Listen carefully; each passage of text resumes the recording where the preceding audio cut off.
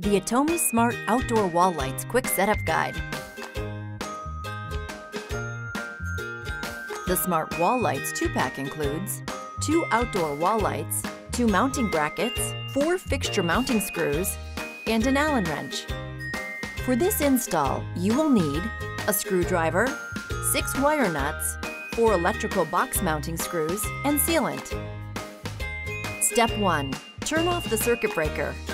Next, install the mounting bracket to the wall box. Connect the corresponding wires using wire nuts. Install the wall light to the mounting bracket. Apply sealant to the sides and top of the light fixture to the wall. Do not seal bottom side of the back plate to allow moisture to drain.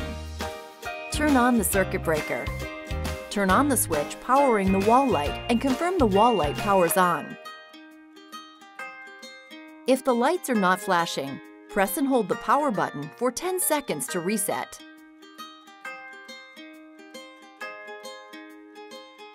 Next, open the Atomi Smart app and press Add Device. Select Smart Wall Light. Press Continue. Press the plus button. Enter your home Wi-Fi credentials and press Continue. Please note, only 2.4 GHz Wi-Fi is supported.